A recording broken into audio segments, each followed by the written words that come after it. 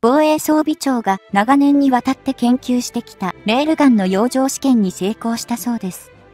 これによって、120連射位の新たなステージが上がったという情報が入ってきました。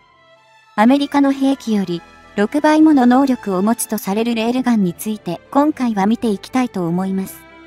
方針のエロージョン問題を克服し、これに中国とロシアが猛反発しています。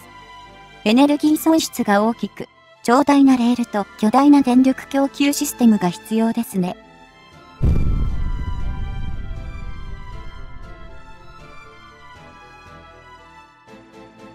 防衛装備庁は、研究開発を進めている未来の大砲とも称されるレールガンを、海事の試験艦アスカに搭載、10月17日に洋上射撃試験を実施した動画を、2023年12月1日、YouTube 公式チャンネルにアップしました。また、12月5日には、11月の防衛装備庁技術シンポジウム2023での資料を公表。日本でのレールガンの研究開発が新しい段階に入ったことを公表したというわけです。前での防衛装備庁技術シンポジウム2023は防衛技術指針2023と防衛力の抜本的強化につながる研究開発についてというサブテーマがついています。内容は、現在、防衛装備庁で研究開発を進めている将来の防衛装備品関係の研究開発の成果を発表するものです。電気エネルギーを使って弾丸を放つ電磁砲として次世代大砲と呼ばれるレールガンの日本での研究開発試験が開発を断念したとみられるアメリカを超え、世界をリードする段階にまで進んでいるという結果が公表され、注目を集めたそうです。レールガンの原理を説明します。平行に設置した2本の電極棒レールの上に小さな金属の玉体を乗せて瞬間的に大きな電流を流して発生させた電磁力で金属団体を射出するという単純な構造です。強大な磁場を発生させて電磁気力ローレンツ・ツトムを発生させその力で玉体を射出するという電磁砲とも呼べる砲なのです。メリットとしては、発射される玉体がミサイルよりずっと安価であること。これまでは火薬を使用して発射していましたが、それよりも高速に射出できること。そして射程がはるかに長くなるということです。防衛装備庁が試験をしているレールガンですが、総重量8トン、大きな電源部と方針部、電磁加速装置で構成されていて、方針である、レール全長は約6メートル、合計40ミリメートルと小さくなっています。当然、発射される弾体も小さくなるということです。現在の火砲と比較すると、陸自で最も多く使用されている榴弾砲の長さは約 6M で、レールガンとほぼ同じですが、口径は4倍近い 155mm です。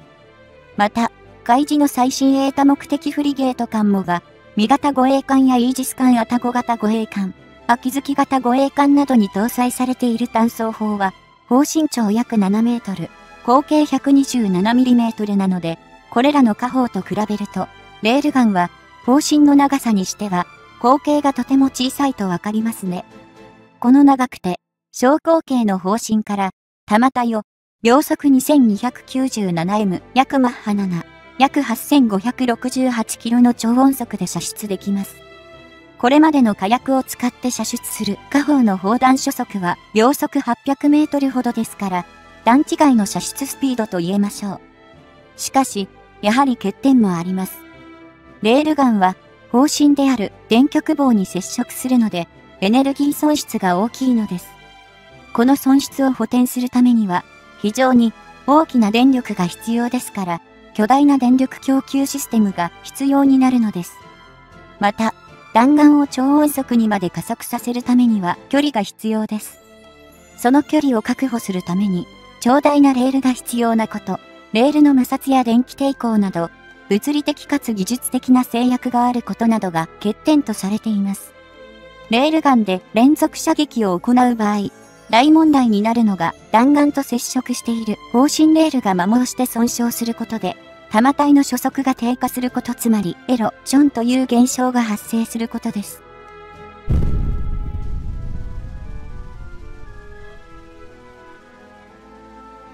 エロ、ションについては、過去のレールガン研究でも、弾体が発射する際の初期位置周辺のレールの損傷が特に激しく、打ち続けるたびにスピードが低下してしまうので、これをどうやって解決するかが課題と言われていました。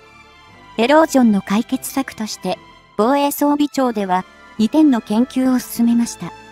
方針レールの素材と電流の流し方を変更したことによって、エロージョン問題を克服したということです。方針レールの素材については、今までは、導電性や加工のしやすさから、主に銅を使っていましたが、さらに導電性が高くかつ、摩耗に強い素材に変更しました。また、電流の流し方も変更し、瞬間的に大きな電流が加わらないような放電方式を開発したのです。この2つの変更によって、玉体の射出前の初期位置付近に発生していた損傷を抑えることが可能になりました。120発の連続射撃実験では、玉体すべての初速が秒速2000メートル以上を叩き出したのです。実験は成功したということです。防衛装備庁は、新しい対策をしたレールガンで、弾体を安定して高い初速のまま連続射撃するという目標が達成されたと、防衛装備庁技術シンポジウム2023での資料の中で明らかにしています。レールガンの将来的な用途としては、2つのシナリオが想定されているようです。1つが、中国やロシアなどの極超音速誘導弾を撃墜用の兵器として使用することです。理由は、従来の火薬を用いて砲弾を射出する火砲よりも、レールガンは、はるかに長射程で、かつ高い威力を発揮できからです。また、もう一つは、敵の艦艇や地上目標を攻撃する際に、長射程と高速、レーダーに捉えられにくい弾体のサイズ、小さいを活かして、敵が回避困難な打撃兵器として活用することです。現在、この2つの用途のためには、対空ミサイルや巡航ミサイルが使用されているのですが、製造単価が非常に高額ですから、限られた防衛予算の中で大量に製造、購入して保有するというのは、現実的には非常に難しいのです。防衛予算は年々増額されていますが、他に回してしまうので、レールガンには回ってこないということでしょうか？納税者からすれば、かなりの金額を防衛費に注いでいると思うんですけどね。と言っても、レールガンの弾体は、長射程ミサイルのような誘導能力はありません。なので、遠距離で敵の誘導弾を撃墜するのは難しいのです。